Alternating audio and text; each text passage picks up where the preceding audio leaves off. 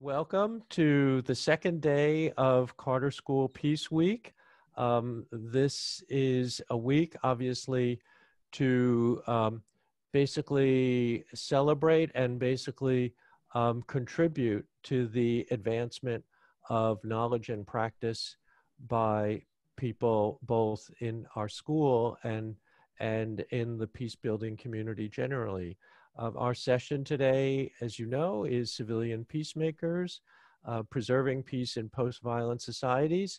But let me emphasize that civilian peacemakers obviously have contributed to, um, to uh, the work of during cases of extreme violence. Um, are so many cases in which civilians have been the catalyst for uh, reducing violence for positive change. I'm just reminded of the case in Argentina, uh, Northern Ireland, Sierra Leone, and just last year we have a political revolution in Sudan, where, which was led by um, which was led by uh, women who, uh, who civilians who led the revolution, and that's a, now undergoing a three-year transition period.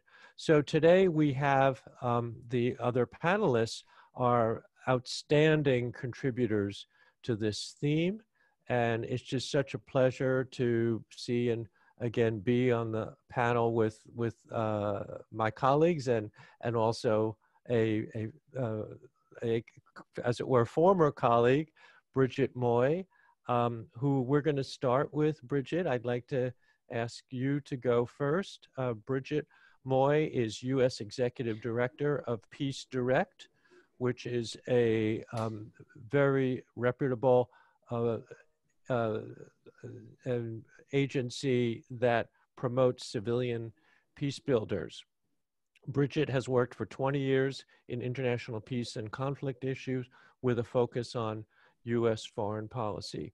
Um, our second speaker uh, is Karina Korostelina. Um, oh, and I should mention, by the way, Bridget is no stranger to our school, having uh, received a PhD from um, what used to be called the um, School for Conflict Analysis and Resolution. Now we're the Carter School. Uh, our second speaker, Karina Korostelina, is professor and director of the program, uh, co-director of program for prevention of mass violence and director of the program on history, memory, and conflict. Karina's work, I think, is well known to many people in, in our school and, and elsewhere on a wide range of critical topics and her books could fill small libraries, maybe mid-sized libraries, I would say. Um, and if you printed the articles out, it would be full libraries. Um, so, Karina, I'd like to ask you to go second. Our third speaker, Arthur Romano, is assistant professor of conflict analysis and resolution at the Carter School, currently enjoying a two-year um, commitment in the Korea campus right now. And um, so you win the prize of coming from the farthest away which may not be difficult, but the time frame is quite different. Arthur is has been doing groundbreaking work on grassroots peace building. Excuse me. I'd like to ask everybody to turn off their mic, to mute their mic. Um, Arthur is a scholar practitioner whose research whose research and applied interests include global education movements, the use of transformative and experiential education in communities affected by violence and non-violent violent education. Um, while we're waiting, let me just introduce also Marc Gopin. Obviously, everybody at um, our school should know and read so much, uh, all, all of Marc's works, everybody, anybody who is engaged and studies religious peace building should also should have known and probably has read and should read continue to read Marc's work mark is the james h Laue professor of world religions diplomacy and conflict resolution. Um, and it's uh, Marc is kind of like my my second you know my, he always anticipates what i'm going to think and say. So we do a number of topics together as you'll see in this uh, panel. Um, and then i will um, conclude the session the presentations with my talk on a laboratory for peace. So i will begin with um, Bridget Moix. Actually, let me see, Daniel. It'll be easier. Let me see if I can share my screen because I think I can. Okay. You can now. You can now. Yes. Okay. So um, uh, I'll share my screen in just a second. Um, thank you so much. First of all, I just want to say thank you for the invitation to be part of this conversation. And of course, congratulations to formerly SCAR, now the Carter School and Peace Week and all the activities that are underway. It's really great to, to see the school flourishing and to be part of this. So thanks, um, everyone. I think what I'll do is try to set the stage. Um, you're going to have a lot more in-depth um, knowledge and, and experience and case studies coming from, from the speakers that follow. So what I'd like to do is set the stage about um, sort of the work that we do here at Peace Direct around supporting local peace builders and locally led peace building. And and why we do that and why we think it's important and some of the trends that we're seeing uh, in civilian led peace building. So let me try to share this and i'll just show a few slides. Can can people see my my screen now? And are you looking at some beautiful faces of peace builders? So um, you may see some of my other screen but let's just um, uh, look at this. So peace direct who are we we are an international organization that works with local people to stop violent conflict and build lasting peace. And the organization was founded in London. It's been around um, since about 2004 there, and we now have a US office that's been up and running for about five years now. And um, we, since the beginning, have been really dedicated to finding and supporting local people who are on the front lines of violent conflict, because we believe those who are most impacted by violence and conflict understand the problems best, know their communities best, and have the solutions they need. So our job is to help um, leverage our relationships and our power and our abilities um, where we are to partner with them. And so I'll, I'll, talk a little bit more about that. These are some of our partners from DRC and Sri Lanka and other places um, and dear, dear friends as well. So just to give you a, a snapshot um, of where we work, um, we work with partners in about 16 countries now, uh, and including the United States. We're starting programming here, which I'll, I'll mention as well. And in all of these places, we really try to both identify long-term strategic partners. So who are those local peace builders who really understand the communities, are respected by the communities, uh, are doing amazing work, but maybe are not yet able to access much funding, maybe are not yet able to access the international um, community uh, very well. And how do we find and, um, and partner with them in ways that, that they want um, and that support the work that they do? And um, we have been heavily concentrated in Africa, you'll see, but also some Asia um, and Middle East uh, work as well has been developing and we'll be expanding partnerships into Latin America, we hope um, soon as well. So how do we work? Well, as I said, um, we have essentially three methods that we use. We use direct partnerships, and that's um, with individual organizations, but increasingly also with networks, because we really understand that supporting um, the ecosystem of local peace building, the ecosystem of civil society is critical for sustainable peace building. So we've been doing a lot more transitioning to thinking about how can we be a partner for um, supporting networks and and um, and networking among local peace building groups in different countries. Um, we also do engage in participatory research with partners. So really trying to understand what is the information, evidence, um, knowledge that they need, that they don't have, that they want, um, that we could help with and um, how do we uh, engage in that in sort of a participatory action research uh, approach, which actually links to our third way of working, which is with collaborative um, advocacy. So we have public education and also advocacy, um, which our research feeds into. So we're really looking at um, both the work in communities and how do we strengthen that, the work of understanding, um, how do we understand peace building and support what needs to be done better, and the work of really changing systems of power and of participation. That's systems of power in terms of advocacy and policy, and also in terms of um, building a movement, a, a, public who understands what peace building is. A lot of times we're speaking in our own echo chamber. So Peace Direct's very much trying to get out of that echo ch- chamber. Uh, over the course of our lifetime as an organization, we've also developed a website some of you may know called Peace Insight. So if you go to peaceinsight.org, you can see that. And it's, it's really trying to bust the myth when you hear people say that in a conflict context, there's just no capacity. Um, there's nothing, you know, external actors need to come in and intervene and bring all our knowledge and all our skills because the local people they're caught up in a cycle of conflict and they're just um, you know they're unable to to find solutions for peace.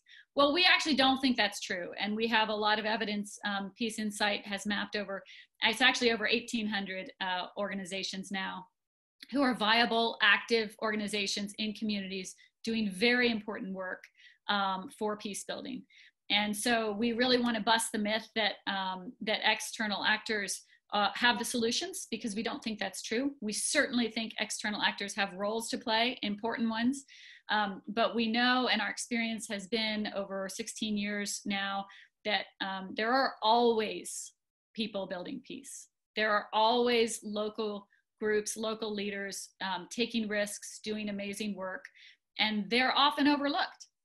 They're often underfunded. They're often um, unable to participate in formal peace processes.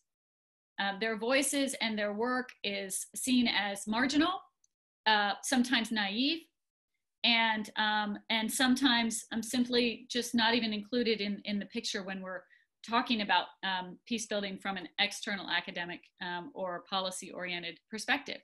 So our aim is really to change that because I, I just want to tell you that the people that we work with um, are incredible.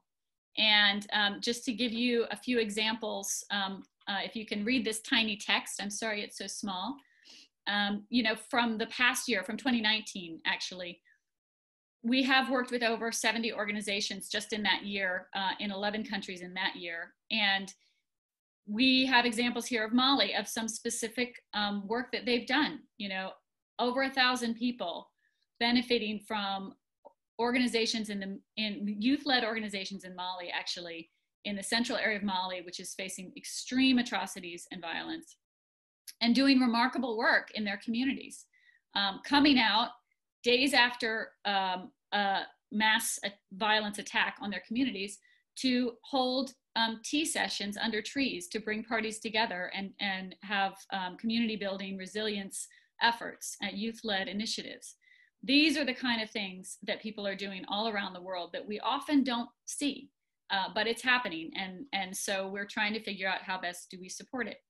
Uh, another example you see, we, we do a lot in relationship to um, livelihoods and peace building actually, because although our policy system and our funding system likes to separate things into nice, neat silos, like development funding for um, you know, women's empowerment in one place and uh, funding for peace building in another place and funding for atrocity prevention in another place, and funding for livelihoods and jobs and health and environment in very nice silos. The reality for people living in conflict contexts um, or any community context is that all these things are connected and related. So we've worked a lot in Somalia and also Nigeria in helping young people who might otherwise be recruited to armed groups to find jobs.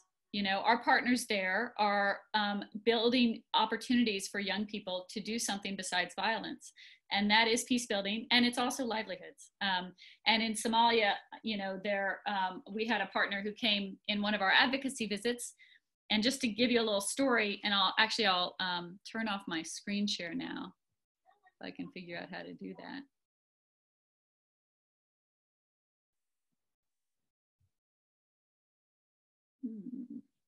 Maybe I can't figure out how to do that.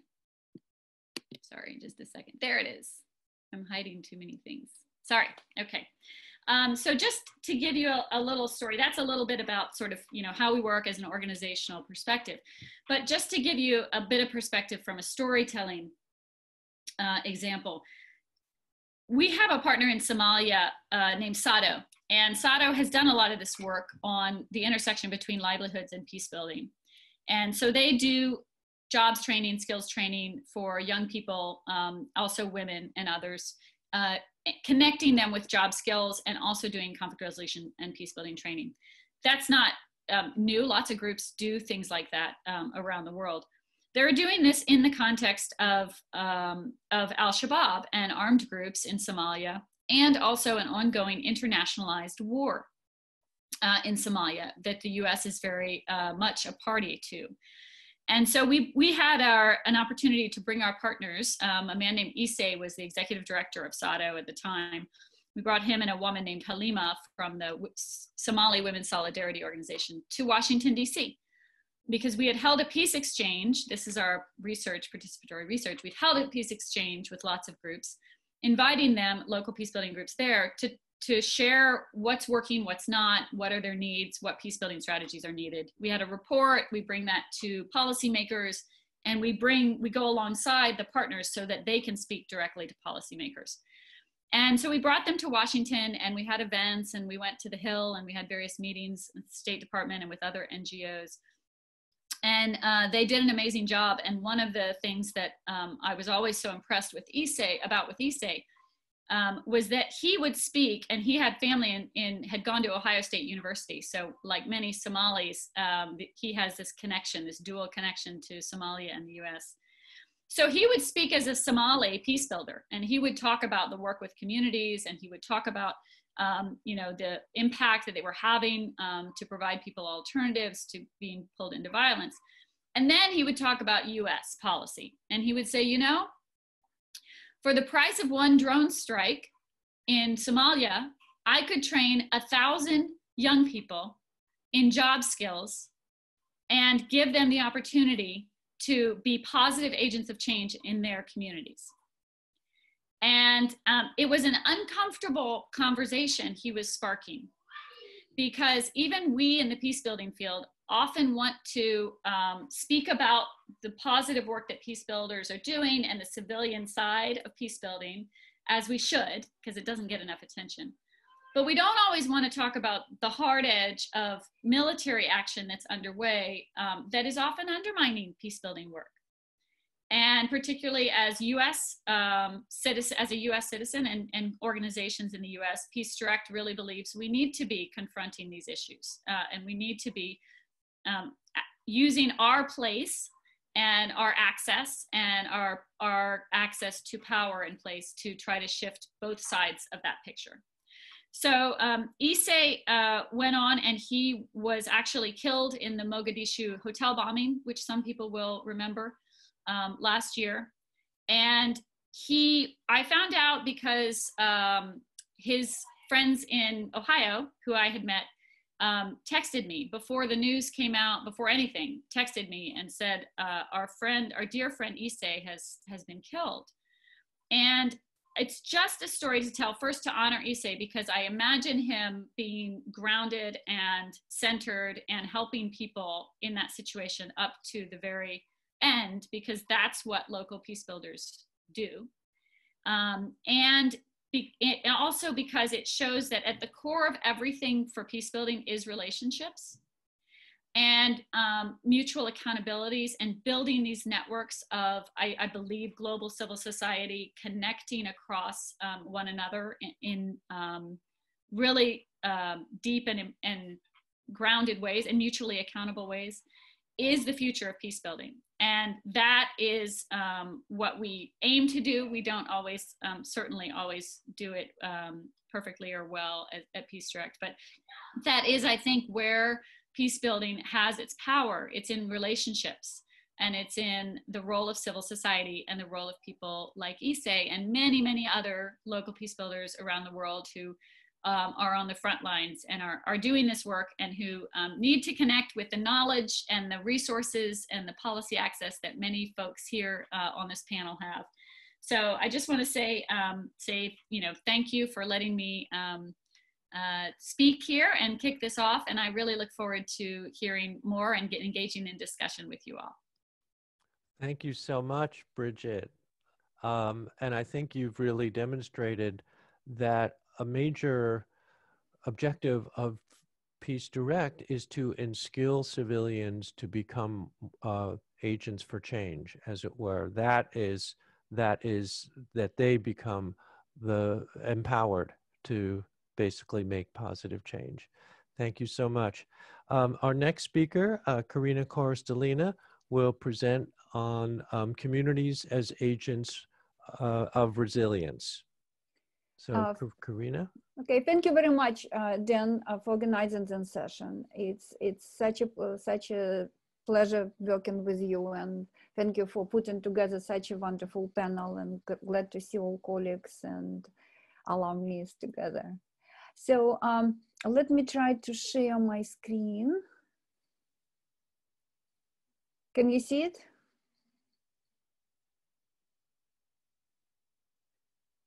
Yes, we see it. Oh, wonderful. So when I will put also 12 minutes as I as you requested. Thank you for 12 minutes. Okay, I will try. Everybody, I will everyone. try. So. Uh, similar what Bridget just told, this particular research concentrate on neighborhood, very small unit, and on resilience. So very quick idea of resilience approach. There are a lot of critique and also a lot of ideas how it can serve uh, peace building. Um, well, positive ideas is that it replaces ready-made blueprint with deep engagement with local resources, exactly uh, echoing what Bridget told, it's not always top down. It's we really need to concentrate what actually people doing in the communities. It also recognizes that local communities possess valuable skills and knowledge and it's really promote ideas of local ownership capacity building partnership and so on. But there are also a lot of critique which told it's uh, too neoliberal because it shift responsibility to local communities and individual. It have some risk and also it can have a negative forms uh, what is a disadvantage neighborhood the unit of my analysis? It's um, we can analyze it from the point of view there are a lot of literature on idea of pocket of fragility within the state. Even democratic states still have these uh, pockets and they are really affected by structural inequality but in the same time they are very open dynamic adaptive system so they have this agency they self-organize self-govern and they produce their own practices as uh, institutions and collective actions. And we really need to understand that they have their own capacities to withstand hardships, uh, which is produced by uh, societal uh, structural violence. And for, for me, it was very important that neighborhoods able to develop their own practices of resilience and reclaim their space from perpetrators of violence and deficiencies. So main concept, um, I employ several concepts. Uh, resilience really perceived as a not only capacity to address and resist conflict, but also active adaptation. And the most important for me is transformation processes. So it's a dynamic process, resilience designed to help residents to reclaim their neighborhoods from perpetrators of violence, reduce impact of chronic urban violence on neighborhoods, and create space of well-being for residents. And um, practices of resilience, this is what I analyze as essential. Activities, institutions developed, maintained by the community to help neighbors to address this conflict, um, ad adopt and transform to from uh, the neighborhood. So I use the theoretical concept of four loop uh, model of resilience, where practices of resilience addressing structure of conflict, dynamics, identity, and power within the communities, are built on community capacities, and also on um, use of external resources. So methodology of my research was based on research in four neighborhoods in Washington, D.C. And I work collaboration with Neighborhood Associate Corporation. I continue working with them. We're now developing in, in several other projects. I conducted together with support of students, uh, SCAR students, semi-structural interviews and conducted a phenomenological analysis of their results. This is the um, demographic information. As you see, we have more females and it's re re actually reflect demographic of these neighborhoods. Um, mostly were African American, some of them were Latina. Uh, and also in terms of age, you see like mostly we had um, people, middle age people from 30 to 70. Uh, so I will analyze, quickly describe these four loops that I was telling about. First loop, conflict loop, interconnection between structure of conflict and practices of resilience. Idea of the loop is that uh, practices of resilience address structure of conflict, but at the same time, they change structure of conflict. So it's constant looping between these two uh, I would say spiral. I hope so because um, we see how they actually able to transform conflict, which can show that it's going uh, up um, in terms of uh, resolution. So uh, when we speak about structure of conflict, what we see as um, structural issues and neighborhood level, it's psychological factors of dep uh, depression and hopelessness, which is very well described in the literature.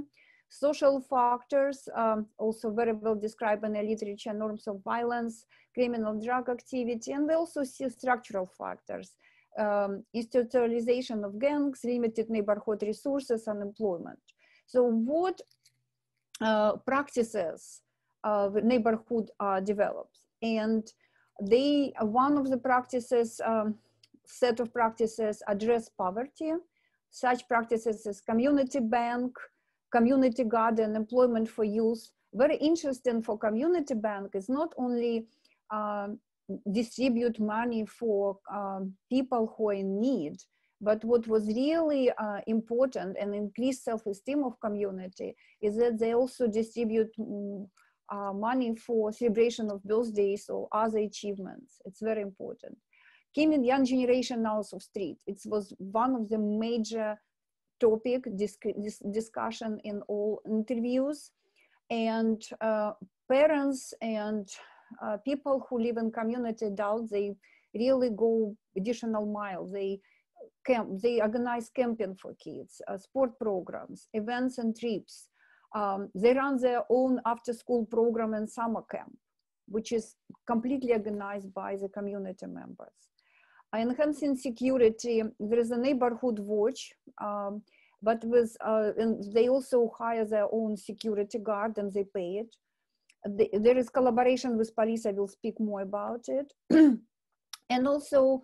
Uh, community self-esteem was so important. The cleaning, for example, of the grounds where people come together and this practice, which starts as a process where people just came together and start uh, cleaning the uh, uh, grounds around, then more and more people come in and become a social norm. And through this particular social norm, it's become a practice of resilience which increase self-esteem because they see that their grounds are cleanest around in, in comparison with other neighborhoods.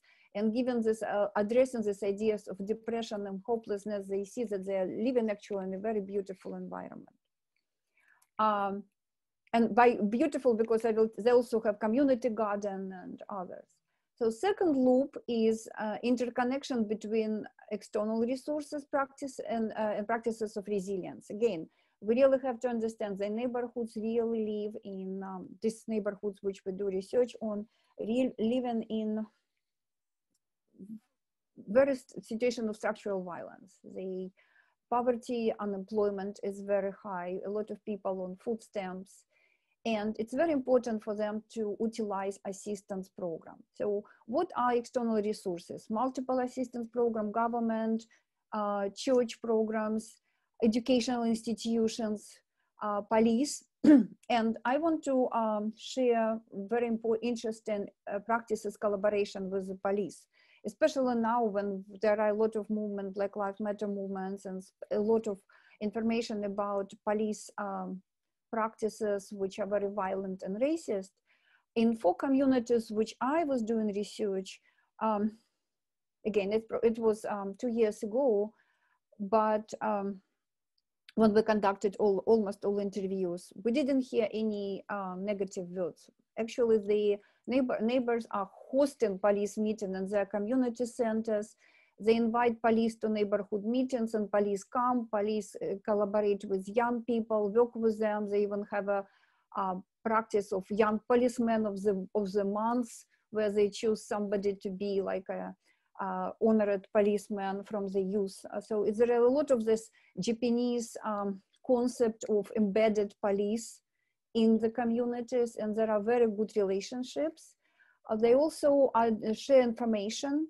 It's very important what we found in collaboration with uh, DC police and DC government specifically, that a lot of uh, pr um, programs are not available because uh, neighbors do not know about them. It's all about information sharing. So they develop a lot of practices of information sharing, like printing in, uh, mm, some information and sharing, going to the meetings, just uh, word of the mouth sharing information and so on.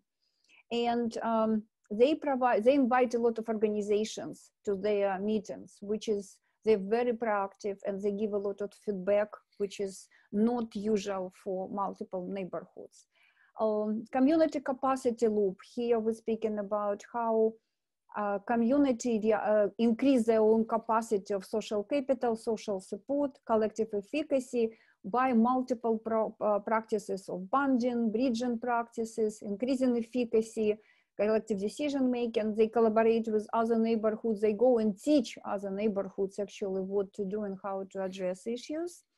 And final loop, identity and power loop, was very interesting for me because there are no literature at all on microdynamics of identity and power neighborhoods. They always perceive as very homogeneous group.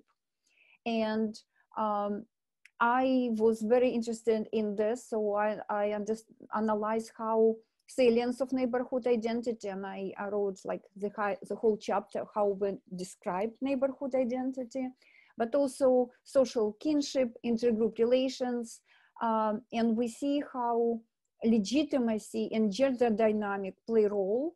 Um, just to give to show you, uh, I will skip this, but um, legitimacy come from very different. It's come from outside groups like church or neighborhood management, but we also see that older people uh, or people who respected in community or people who have historic legacy beings. For example, they name buildings after people who work in community. So buildings in these neighborhoods named after community activists. Um, but what also we found that there are a lot of problems connected with um, dynamic of identity and power because people who have majority of legitimacy and power are usually older women. So it's impact how they work. Girls are more included in community practices and uh, boys are mostly excluded in community practices. Also fathers very rarely participate in community practices unless it's cook, off or something like this. And um, what it means that more groups have, some groups have more access to resources, other excluded. So within neighborhoods itself, this microdynamics of identity and power impact which organizations they work with more, which resources they utilize. So it's not homogeneous approach and not everyone in neighborhood actually benefits the same way from the neighborhood resilience. And um, this is like table which show multiple um, repertoire of resilience practices. And this table really show how the resilience practices address Rockefeller Foundation idea of uh, neighborhood, uh, sorry, urban resilience. So the two um, circles inside the Rockefeller Foundation and then uh, outside circle is how I feed the resilience practices in neighborhoods into this urban resilience uh, concept. Okay, thank you very much. And I stop sharing my screen. Okay, thank you.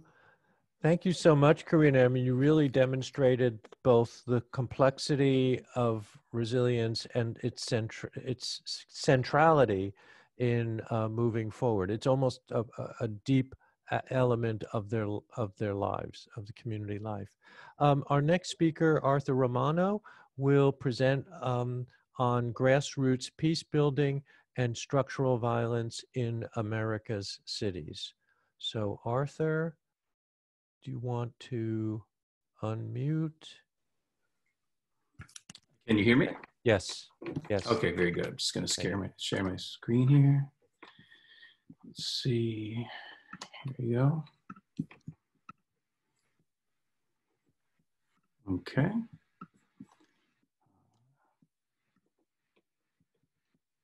How does that look from your side? Can you see the slide? Perfect. Okay, well, I'm glad to be here. Good to see you all, my extended Carter School community. I'm, I'm uh, here in George Mason, Korea, so uh, nearing midnight, uh, different in a different time zone, uh, and very excited to have this opportunity to share. Thank you for Karina for, for your presentation. You did a lot of the analytical work that is, uh, I think, really relevant to, to a, lot, a lot of what I'll share.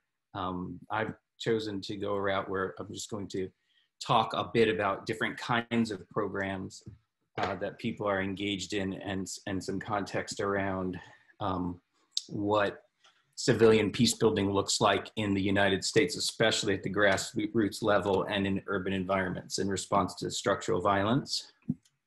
So I think, um, you know, oftentimes in, in conflict resolution or in the peace building discourse, um, we, we uh, sometimes skip the role of social movements and of antagonistic social action uh, and the role of, of protest uh, and, and organizing in shifting the dynamics of structural violence. Of course, that, that seems uh, a bit funny to say right now because those dynamics are front and center for us to see.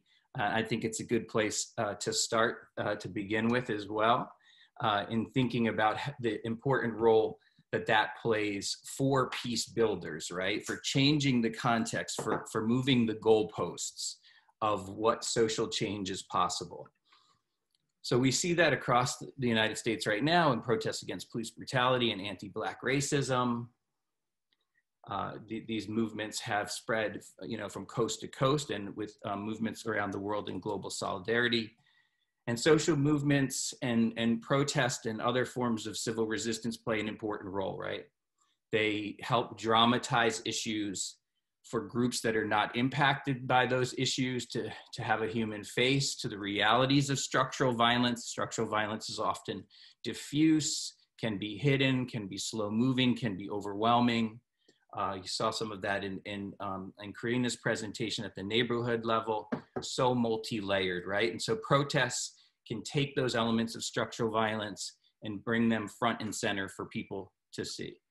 Uh, it also, they, you know, social movements play a really important role for peace building, uh, understanding the peace building context by, by shifting the, the power dynamics, by helping to shift the power dynamics. Uh, you know, we see right now that books about anti-racism and systemic racism are, are on the tops of, of best-selling books, the, you know, increase in in people reading and getting active around these issues, including white people and people who are living in more privileged communities, right? So social movements also not only reach and, and, and, and can win people over, but have what Boulding called integrative power. In fact, social movements in terms of street level protests are some of the most dynamic spaces that we can find in terms of breaking down uh, lines of class and race uh, in, as people are struggling together, working together on, on a street level. uh, for, for social movement scholars maybe, or for, for those of you that are activists, I think in some ways, we can almost take this for granted that we see academics and and uh, and people who are coming from all across the country convening in these kinds of moments. But it, oftentimes, social movements uh, and especially mass mobilization create a peace building opportunity as people transgress these lines uh, that separate us, these deep segregations and cleavages in our society that exist at the neighborhood level. If we're going to talk about it at the neighborhood level, uh, social movements help perturb that, disrupt that, and, and, and rearrange that at least temporarily. So we see that, you know, the protests dramatize the issue, that it provides pressure to policymakers, what I'm talking about in terms of, uh, of moving the goalposts um, and then also provide an outlet for people to grieve with others and express their rage, anger, and concern. So there's a kind of public pedagogy of truth telling that takes place in these contexts. And then also, of course, that people see that they're not alone, right? And, and we see this that people's thresholds when they're when in, in moments where they're engaged in large scale um, mobilization and or see others that are taking to the streets or, or lobbying or engaging in other activities that people's thresholds for participation that that threshold gets lowered and that they're inspired to engage with other people so and to take courageous action so it's not that we're born courageous that we become courageous and and and we are willing to take risks and and that that willingness takes place in a, in a wider social context and social movements play a critical role in that so in my own experiences i wanted to talk just about firsthand some firsthand um, experiences and projects that I've worked with that I think highlight some of the trajectories of civilian peacemaking uh, in the United States as it relates to systemic racism and structural violence. Uh, here, I, I, wanted to talk to begin with about the Truth Telling Project and, and the role of truth telling about systemic racism and police and police violence. So the Truth Telling Project grew out of the Ferguson protests in 20, 2014 uh, grassroots effort uh, organized in St. Louis by local activists and educators and academics. I was involved in the, at the founding level with that project. Uh, and really, many people don't know this, but in Ferguson, there were nonviolent protests and, and unarmed protesters on the streets for a year continuously, which, as far as I can see, is one of the most long-standing, continuous nonviolent protests since the Montgomery bus boycotts, which lasted over a year. And in that ongoing and sustained process of, of resistance, activists being dealing with pepper spray and police uh, and, and, all, and incarceration and, a, and, and ongoing repression, um, there was a need that activists expressed to be able to grieve together to be able to to have community and to share experiences of police violence in a supportive environment that was different than the confrontational realities of street protest. Uh, and from that, really, um, the, the truth pro telling process was born. Uh, so a key component of it is those of you who study or have been involved with um, truth and reconciliation processes will be very familiar with this, is testimony. And so um, there was a process whereby people came originally from from Ferguson and St. Louis area, but then from across the country, and shared their experiences and the impacts of those experiences um, on family members and loved ones who have had um, who've experienced police violence before. Also, there was the integration of the use of arts, ritual, and other activities to help support healing in those uh, events and then a, a, kind of workshop setting where different groups that were activist groups that were working on police reform could uh, could get together and people who had heard testimony could then learn about how to ways that people were organizing and trying to shift police violence and other related issues uh, in the United States. So this was kind of was grounded in, in a critical race pedagogy, a kind of public pedagogy it was what I call it, um, of Ferguson, where we you know acknowledge that concealed narratives about race are, are core part of transformational learning and street protest allows for telling those stories uh, you know of people who are interested in peace building in one way but truth telling allows for a kind of deeper exploration of the impacts of the of, of violence in people's lives and the and the courageousness of that people are engaged in in trying to influence change. Uh, the importance of centering race in those conversations, not just having it be an add-on, uh, and, and, con- and, contextualizing structural violence, um, uh, people's experience of police violence in the wider context of structural violence. So we always ask people in the in their testimony, why did you think? Why do you think this happened? Um, and oftentimes people spoke about the larger structural conditions in which uh, this took place. Um, and then also about thinking about more positive futures that are rooted in social justice, right? What would a world without police violence look like? Uh, what is justice and having those kinds of wider um, conversations. So those of you, some of you will be familiar with Lee Anne Bell's model on uh, storytelling for social justice, that we have these stock stories that we tell about race or about policing, um, let's say in this case, and that there are concealed stories that we often don't hear. And so by centering this process on, on um, uh, you know, on Black people who have, and others who have experienced, other people of color who have experienced police violence, we had to kind of surface those concealed stories the stories of how it's impacted family members across generations and these other aspects that are often hidden and connect that with the resistance stories. This is where people are organizing and have organized right from the very founding of this of the united states uh, to resist these dynamics and work to change them right? And by unearthing these concealed stories and joining them with these resistance stories we start to have the possibility uh, and increase the possibilities for peace building in terms of shifting policy and shifting wider social narratives, right? And we've seen that that's been successful. That's part of the silver lining of this moment, right? It, it, the, the, the, difficult part is that we haven't seen substantive change in police uh, policy and behavior at a national level, resulting in less police shootings. So we still have a long way to go. But six years ago, just 43% described uh, those deaths as indicative of a broader problems in policing, right? And 51% saw those as isolated incidences, where more than two in three Americans, a whopping 69%, said that Floyd's killing represents a broader pro- problem in law enforcement, right? So that's just in five short years. Um, so, so truth telling uh, is, in, is a critical component for unearthing and, and, and recognizing those structural uh, violence that's taking place for people to kind of come together uh, in solidarity with each other and connect with organizations for, uh, in civilian peace building with organizations that are working to disrupt and change those those dynamics of violence. Um, but then also there's the component of sustaining this kind of local resistance and envisioning and building alternative futures right? Where protest moments and large scale mobilization are relatively uh, short lived.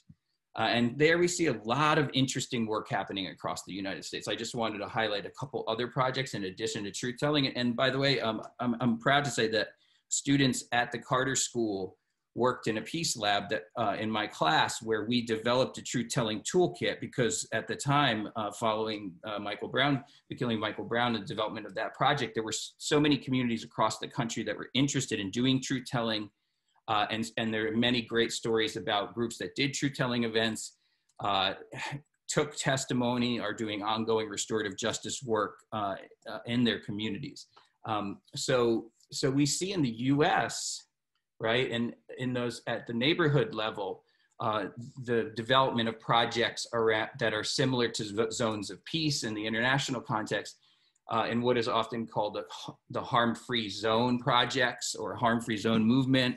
Um, so this is where people are taking, you know, a geographical area in the neighborhood and seeking to, to disrupt the dynamics very intensively of, of violence taking place there. I'm highlighting an organization called Spirit House in Durham, North Carolina here uh, that has, you know, committed to this harm-free zone project uh, over the past decade and grounding it in specific principles uh, that around addressing, proactively addressing harm, uh, rotating positions of leadership uh, and positions of power, developing restorative justice response mechanisms and democratic dialogue, uh, it's a it's what Spirit House is run uh, uh, by Black women and has sustained this kind of localized work around developing zones of peace for for nearly a decade.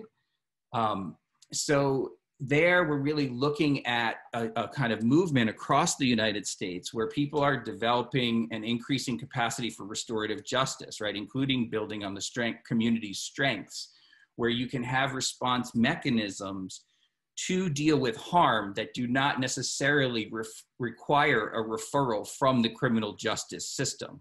So, so people are now, you know, have been working really hard and in part, you know, and, and, and Karina raised this around issues with the state, in part because of distrust with the state, right? Um, around having responsive mechanisms and proactive mechanisms to deal with harm um, so that it does, th those referrals don't have to come from the criminal justice system. At the same time, uh, and this has been true of Spirit House in Durham, they're also working really hard with the uh, district attorney and others to try to bring restorative justice into those systems so less people are funneled uh, into the prisons, prison industrial complex.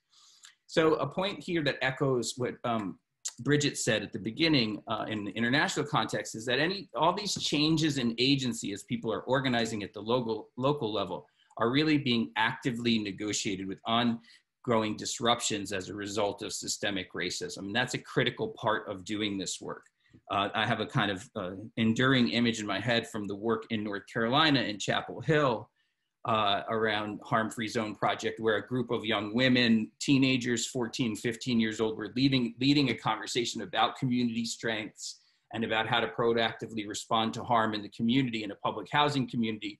And police just saw a group of people underneath a tree and came flying up in the police car, came to a screeching halt only to find you know not anyone armed but these young women armed only with uh, sharpie and and uh, flip chart paper underneath this tree right so it kind of this this way that these this work uh, smacks right up against these overwhelming realities uh, of, of systemic racism in the United States.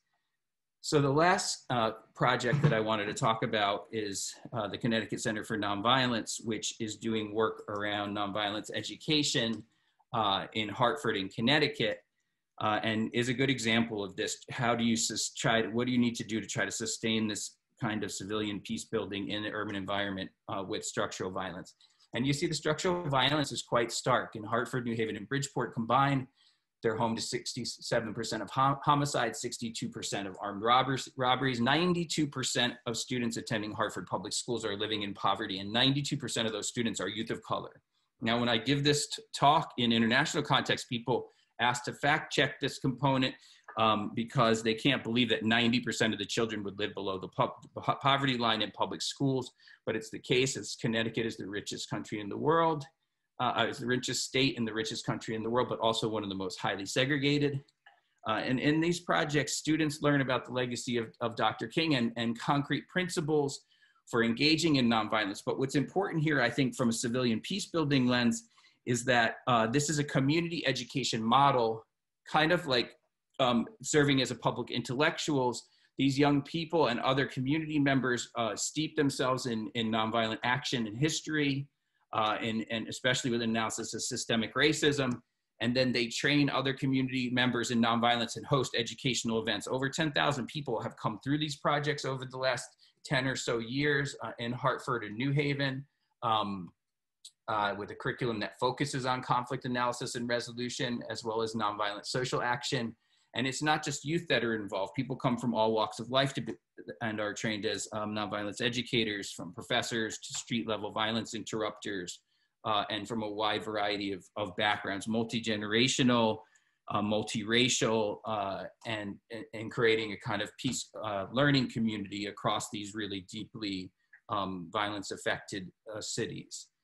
Um, and finally, the last component of civilian peace building, which uh, grabs a lot of press attention and is worth mentioning here in the urban context, is, is actually the kind of rapid response, uh, violence interrupters, nonviolent peace responses to harm. These are folks. Uh, ceasefire is famous in Hartford, and, and uh, it, there's a uh, they're literally called peace builders, right, where they intervene um, with parties that are potentially armed and try to disrupt violence at the point in which uh, it, it's likely to break out, and with the high, most high risk groups. So we see in the U.S. what is a really kind of complex um, mix of civilian peace building, and this is where I want to close uh, just by saying now as we enter into this kind of conversation about defunding the police, we're really hearing uh, this point here the, that I see here in this picture that you know that we're over policing in response to a wide range of deeply rooted social issues and that we've extended too far out the security approach to those to those issues, right? And so as that pressure mounts and as uh, the social movements move the goalposts of that conversation, where, you know, the conversation has shifted dramatically just from the time that um, of Ferguson in terms of what's on the table in terms of possible response, then we see that having these, these grassroots and localized um, mechanisms and processes and community members leading creates uh, the possibility for when there's large shifts in funding uh, for something to be funded, right? Uh, the, I think the, the really difficult part and part of an important part of, of the challenge for our field is that when we think about the deeply rooted systemic problems that we face in the United States, um, what, what is required in terms of scale of intervention to deal with deep rooted poverty and issues of structural violence in cities is on a scale that we are nowhere near um, funding at a necessary level. Uh, and so this, the conversation around defunding the police uh, is still also in, in a context in which even that funding is but drops in the bucket of what is necessary in terms of a holistic uh, and sustained response to to structural violence in America City. And I think that's part of our of our challenge is to is to highlight uh, this work and and uh, where it's working and what its challenges are, but also to really up the ante in, in helping to understand the incredible scale of intervention uh, and scale of local support that's necessary for us to have a, a, a chance at uh, shifting these deeply rooted dynamics of violence in the US. Thank you so much, Arthur. With so much valuable, uh, a, a, rich presentation, then I hope uh, will spark uh, discussion. Um, me too. And so next we have Marc Gopin, who will speak on compassionate reasoning, a core skill of civilian peacemakers for a sustainable future. Marc?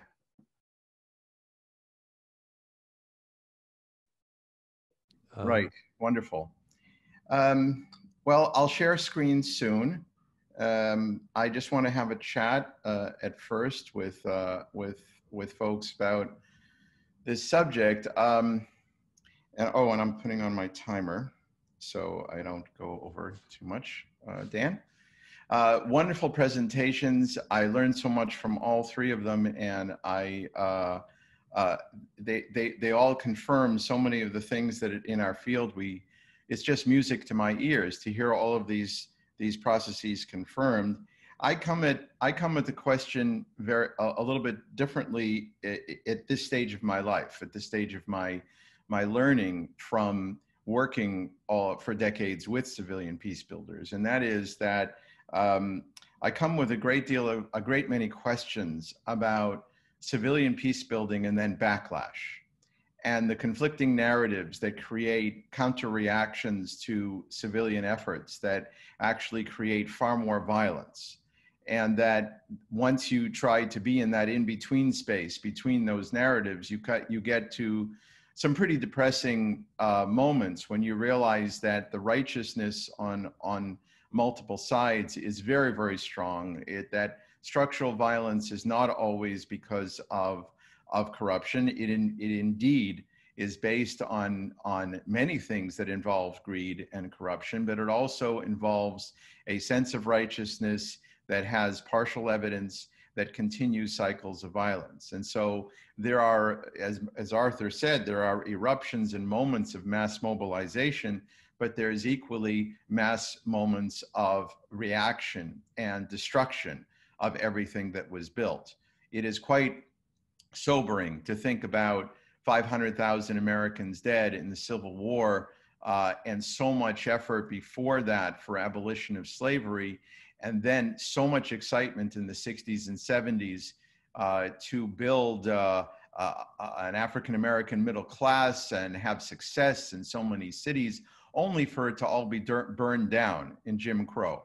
Only for the reaction to basically be that the, the liberation and the opportunities were enormous, and there was excitement, and there was mobilization, and then there was absolute destruction we are living through a similar process right now uh, after um, a sense uh, on, on many people's parts that somehow we turned a corner, that the structures were still there, the poverty was still outrageous, the uh, the the ridiculous militarization of policing was was going to turn a corner after 9/11 somehow uh, with uh, people like Barack Obama and, and presidency, and then only to go through what we've gone through, uh, the horror we've gone through since 2015.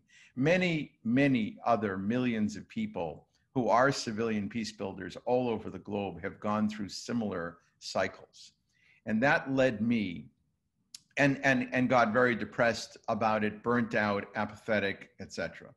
So after all the things that I went through in terms of the disappointment of peace processes and their destruction in both uh, Israel, Palestine, and in Syria and in Afghanistan uh, and other places, I, um, I I started to go more deeply into psychosocial questions of who is resilient and who persists in building bridges and who does not. And that led me uh, into, uh, uh, uh, because the, the basic theory is that, that in the places that clinch this and actually get to permanent peace treaties and permanent change, there are, there are sustainable peace builders in each place that have, in my opinion, a series of psychosocial qualities that uh, uh, allow them to build bridges uh, beyond enemy boundaries, beyond enemy lines. And in fact, you know, in my in my center in CRDC, we're experimenting, exploring with this both in terms of the Syrian context, but also uh, we pioneered work with uh, conservative um, conservative uh, spiritual peace builders who are mainline church folks who are deeply into uh, racial reconciliation. Uh, what does that look like to be in between as they are? Uh, what does it look like for for police who are who are actively working on the streets in peace building? What is it? What what is the burnout? What is the the the experience of being in a no man's land where where neither side trusts you or likes you? um, that that's this this is what fascinated me and so i decided to go and develop um, based on uh, neuroscience and and social psychology an approach to to to change that involves um, compassion and reasoning. And so i'm i've developed a um, here let me let me just uh, share a screen for a minute to just do a little bit of show and tell. Um,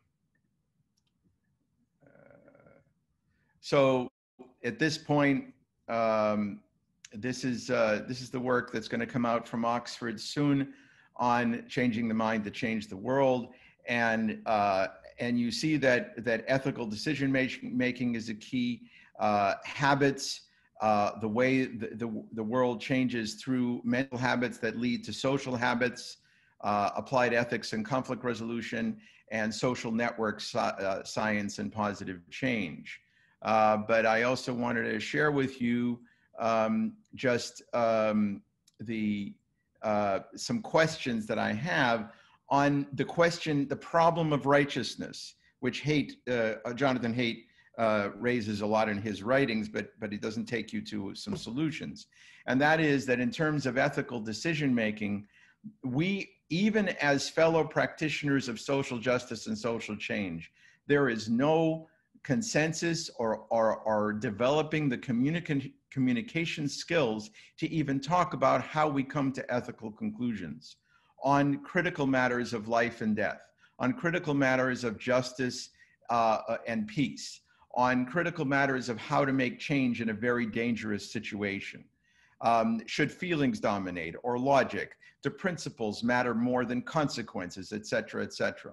So I'm looking actually to develop these skills and to incorporate them into peace building in a new way, which is indeed what we're what we've been doing uh, in various um, uh, in various locations. So this is just an example of some of the work that we've been we we did when there was absolutely no solution to the genocide in Syria. We worked mainly with women and children on resilience and on empowerment through um, through love and compassion, combined with with um, with education in in uh, in in conflict resolution and other skills. Um, I just looking, oh yeah, it's over here.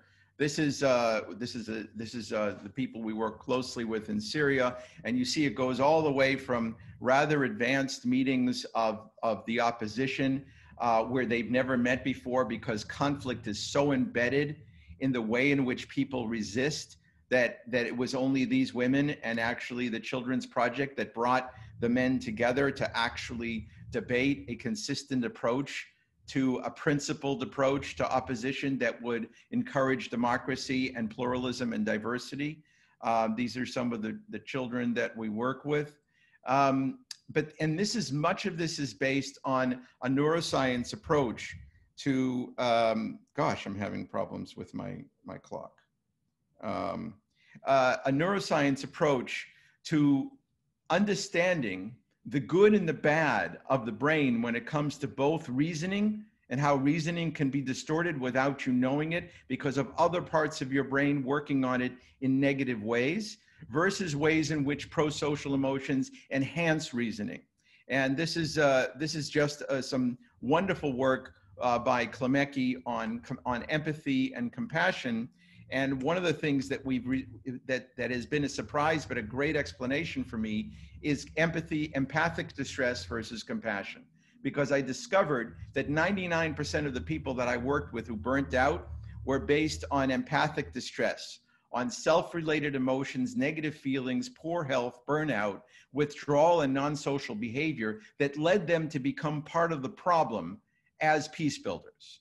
Whereas those who had focused on a compassionate focus of training and training themselves in that worked far, far better in building coalitions across lines of opposition, but also across lines of opposition groups, across lines of, in, of, of, of victim groups, but also across enemy lines. That those who focused on compassion, their reasoning was better. Their ability to come to an ability to bring the violence to a close was far, far better.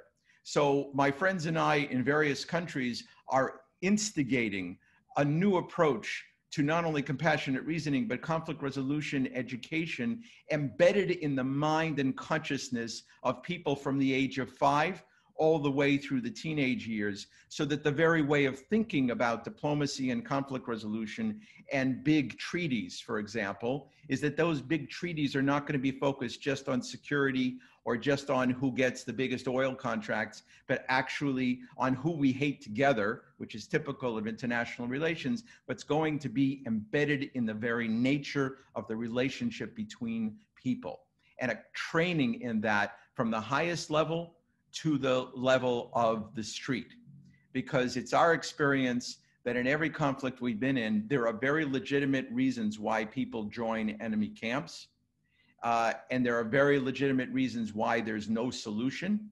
And that the only people we see actually working on third ways are those with these emotional intelligence skills that combine their ability to reason through problems, reason through ethical dilemmas, but do it in the context of relationship, love, and compassion.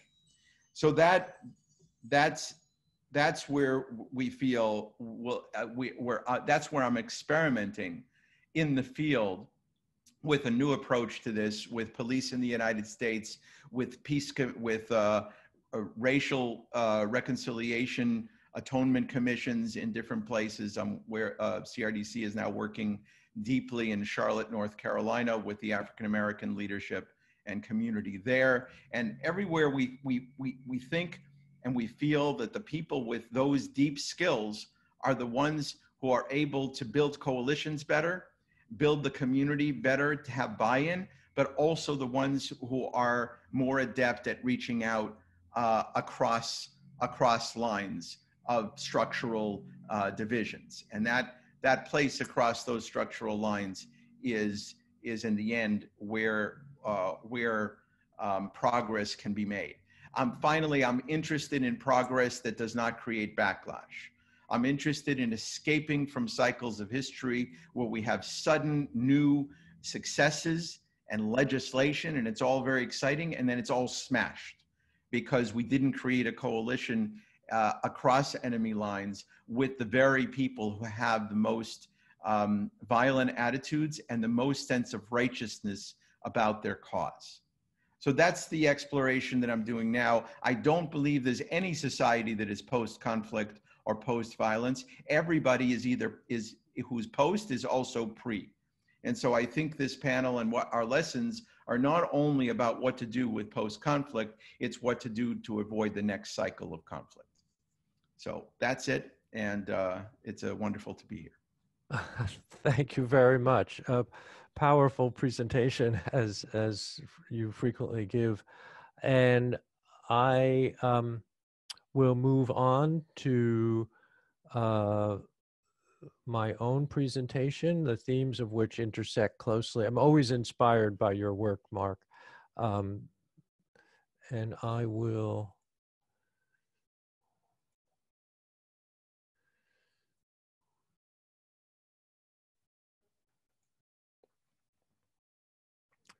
I hope this can be seen.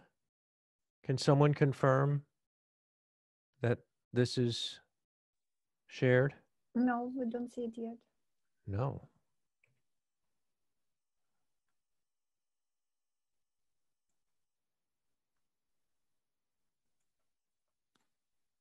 Ah. Yeah, box. Okay. Okay. Um, I want to start with a big picture question. Um, what is conflict transformation? Clearly, our field some decades ago created a revolution in relation to realism in international relations, a revolution that centered on the whole person perspective rather than just defining war and peace in terms of power dynamics. The whole person perspective really com- uh, compels us to look at interactions, uh, thoughts, and emotions, and how the, these three domains, of course, are not separate but interrelated. But I think, and what has happened in our field is enormous and deep intersection between peace building and psychological models of aggression. That is, the whole person perspective has been deeply embedded in the reflection, reflective practice, in the understanding of conflict agitators and the, as it were, downward spiral of violence. But what our field has not done very well, in fact, barely at all, is looking at the perspective of positive social emotions. I think the field really has a half person, whole person perspective in retrospect. That the there's been almost revolutionary changes in psychology uh, about the centrality of positive remote emotions as, as a as a critical aspect of of interaction of human life. There's almost no deep deeply reflective empirically sound and current research on positive emotions in peace building. Um, it, and yet it, peace builders are frequently showcasing uh, anecdotal evidence that trust building was achieved from a, a, a, short workshop, positive relations, and so on. Some of the anecdotal evidence, I think, is relatively shallow. There, in my literature review, I found only two people in our field who really engage in this deep intersection between peace building and, as it were, the moral psychology of positive emotions. Um, Adomi, Le- Adomi has become an expert on hope, and of course, Marc Gopin on compassion, as we just heard. That conflict transformation is rarely guided by advanced understanding of positive emotions. So we need to do some work here. Um, and in as Marc eloquently presented, uh, the compassion is so critical for positive change in um, in violent communities, and yet this is not only a new discovery. In fact, there have been over thousands of years insights and wisdom from various sectors of human thought. Obviously, religion, the Abrahamic faith traditions have placed compassion for those who are suffering um, at the center of religious ethics. Um, and Marc has written eloquently about that. Co- compassion in moral philosophy is a primary virtue. That should be virtue, not virtual, uh, for living in right relations with each other. In psychology, compassion is a distinct positive emotion which consists of a combination of sympathetic understanding for those suffering and a hope for their relief. And in neuropsychology, the neuroscience, humans are hardwired for compassion, and critically, compassion can be induced under certain conditions. So, uh, and this picture just encapsulates the theme from neuroscience that um, compassion is actually correlates, that is, the feeling of compassion, the experience of compassion correlates to certain processes in the brain, which are indicated by these red uh, spots here in this diagram. So, um, so what does that mean for peace building? Well, first of all, peace building as a field is a field of compassion practices. And as, as Bernard Mayer writes, our values are the source of our dedication and the compass that guides our work, the essential glue of our field. Um, compassion underpins the human rights agenda. It underpins many of the techniques of facilitated conflict resolution practices, interactive conflict resolution. And it also underpins the work of certain communities um, seeking peace, experiencing violence, as, as um, Susan Allen and I demonstrated uh, last year in, in an article. Um, but what we have not done, if I may go back, our article was very kind of generic, generic and uh, broad based. What we have not done is test our model in any specific context. And so, with that, um, I embarked uh, two years ago on the first case study of compassion, the first, as it were, laboratory for peace, case study of compassion among conflict actors. So, we um, interviewed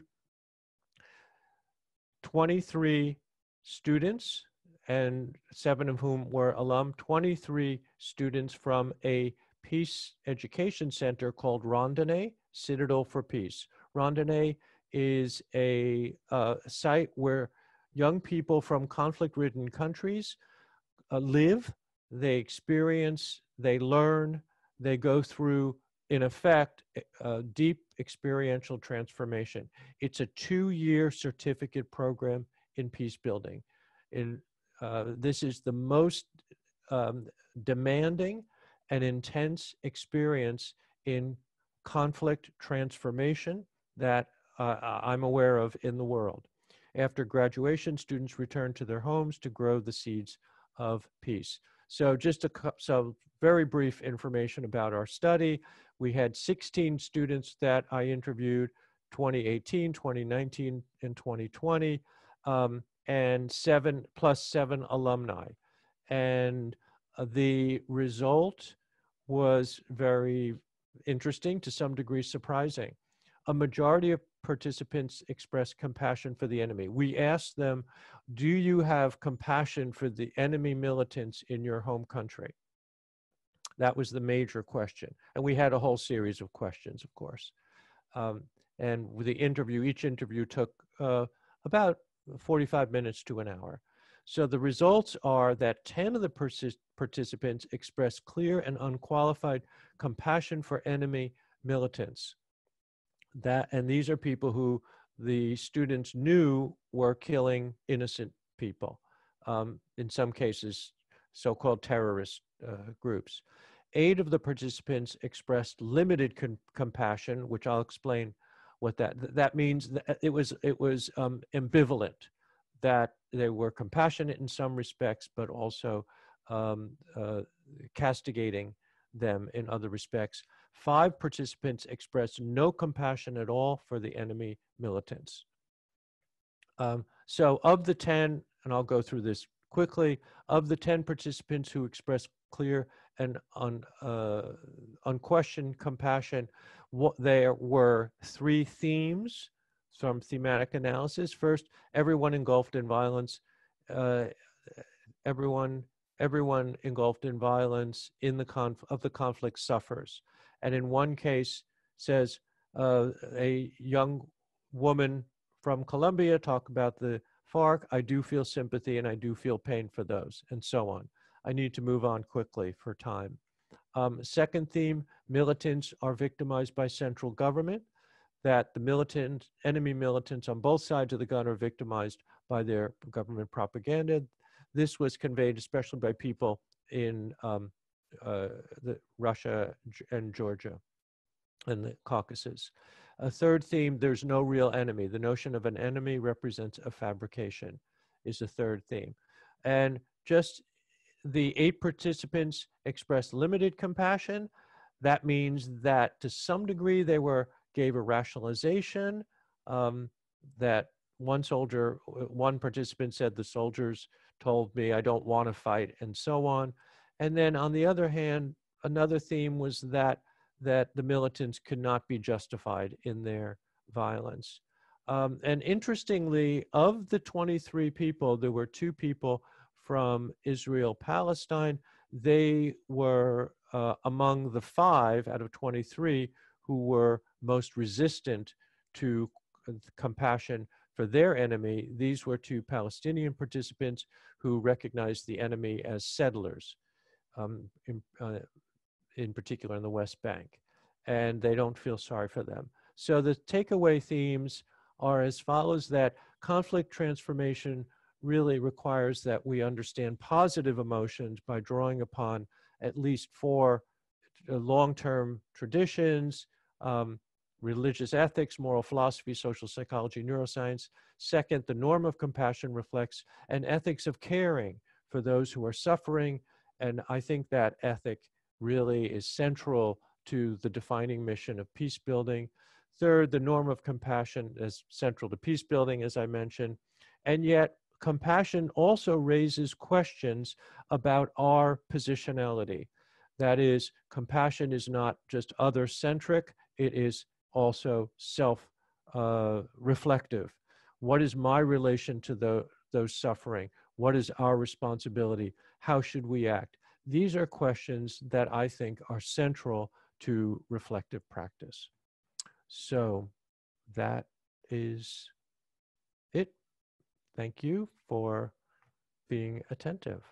Um, so now we will open this up for discussion, questions, comments from any anybody anyone else participating. Obviously please unmute your mic uh, or you can raise your hand obviously and i will recognize you. That's what we should do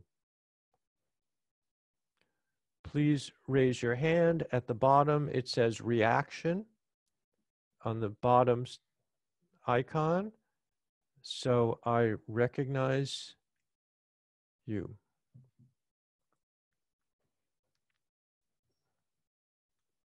I see Mary Kate Walt Walth. Yes, hi. hi. Yes, Walthall. If Sorry. it's hard to pronounce. No, that's okay. Sorry. It's an odd name. I, my question is for Karina. I was wondering, it, it, sounded like a lot of the neighborhoods you were working with were in the United States, and you had mentioned Washington, D.C., and I wondered where else you've worked or where else you had done your neighborhood projects. Yeah, they're all in the area. Um, three of them in Washington, D.C., and one in Arlington. In Washington, D.C., they were predominantly African American with some people from Latina community. And uh, in Arlington, it was 99% Latina community. Thank you.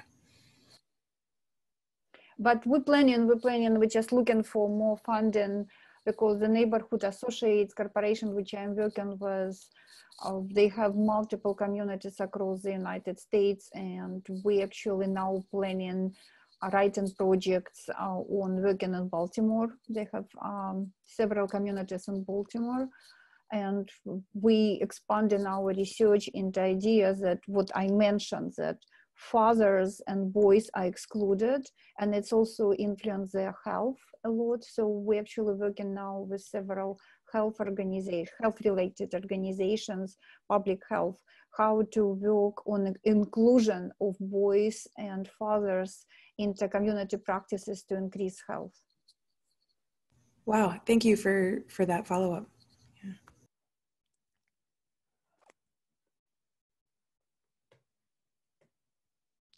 Okay. Um, Kate Rodman. Hi. Uh, my question is for Marc. Uh, you talked about the the compassionate reasoning and not wanting to generate a backlash. Can you give some examples where um, that has been effective? Um, I think it's a great model, and I think um, the backlash um, is very the righteousness and the backlash is very um, applicable to current U.S uh, situation. So can you even give some microcosms or bigger pictures? Yeah, what interests me is, I mean, I, what I, the, the examples are, there's so many people of high quality who've managed to do this as extraordinary peace builders. And so I've written a lot of case studies about those kind of people. Some of them are secular, some of them are religious, some of them are leaders of, of countries. Uh, you know, Jimmy Carter had this capacity uh, when he was putting together leaders to to not only speak in a reasonable way, but to demonstrate a kind of um, methodology that evoked compassion, evoked a greater identification, and he thus he thus prevented the breakdown of relations. He did this with uh, at a critical moment between Begin and Sadat. And I realized a while ago that the tragedy of elite forms of international diplomacy and peace building is that they get the combination of compassion and reasoning. They do it all the time behind closed doors in palaces and other places. They they never just uh, pronounce something. They there's always eating and drinking and family sharing. And the people this happened between Arafat and and Rabin, for example. But the deep mistake of both men, but as you know, uh, there was no democratic process that would have required a greater social justice and structural conversation of putting millions of people together to go through what Arafat and Rabin and their families went to together, which is, which is a catastrophe that we see ongoing. That had the compassion between those two families gotten deeper and gotten structure and went down, it would have changed history completely.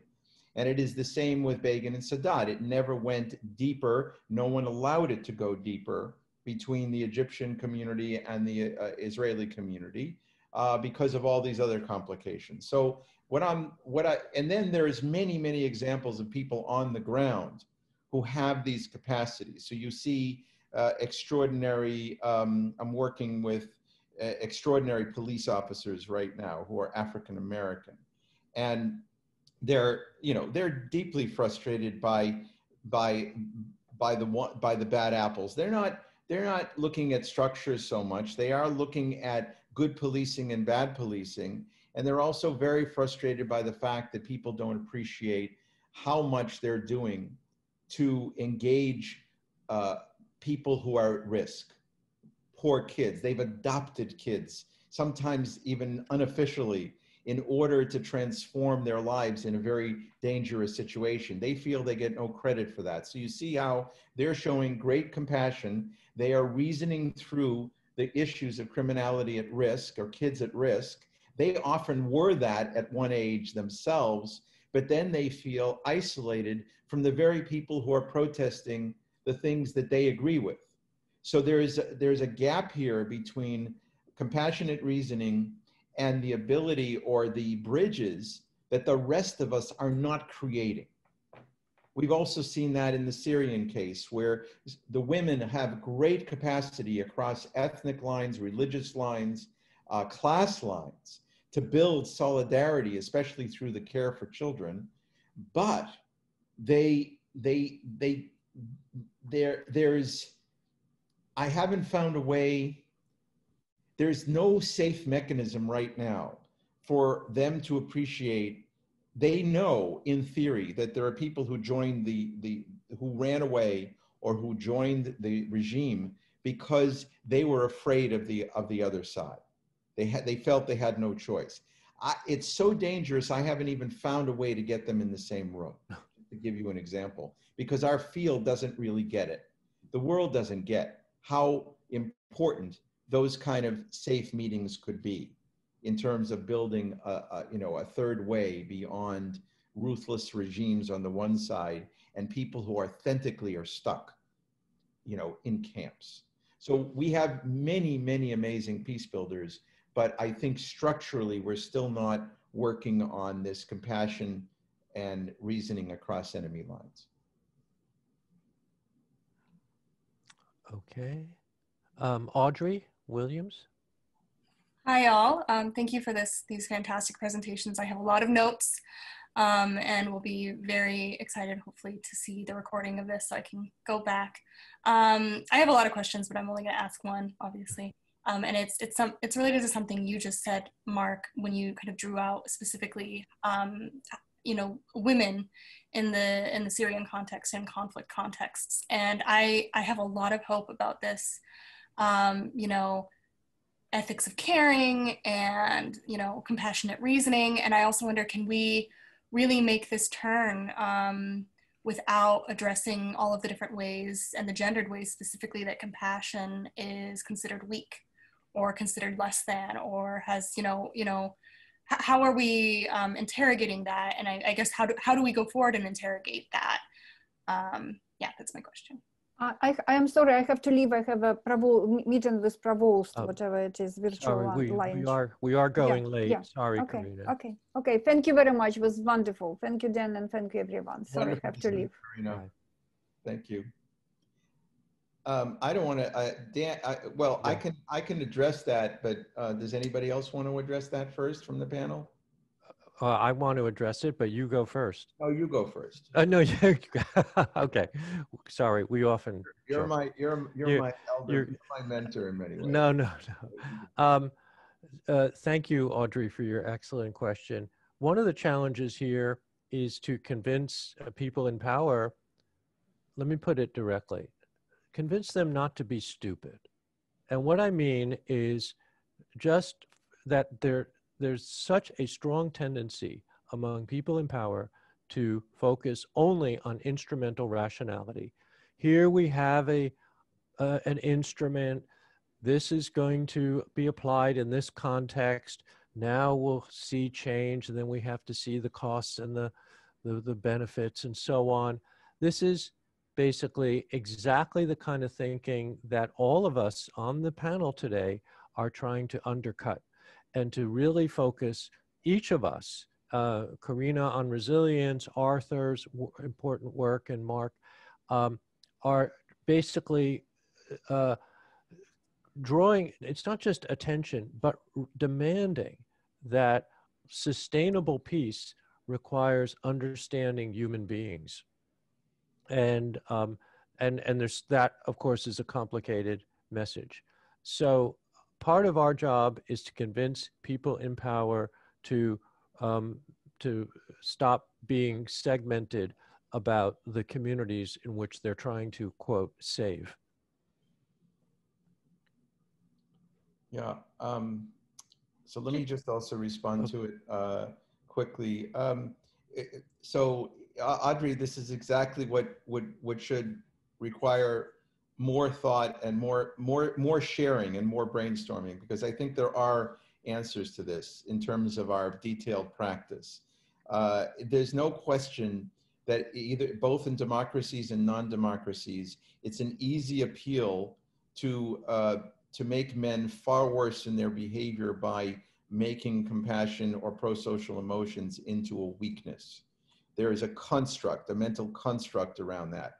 It, I, I have my doubts that it's that it's genetic, uh, the differences here, but whatever it is, it is obviously a driving force in the ability to help men to be aggressive and to kill and to organize as killing forces or, or, or aggressive forces. Since the opposite of that is some of what I'm talking about.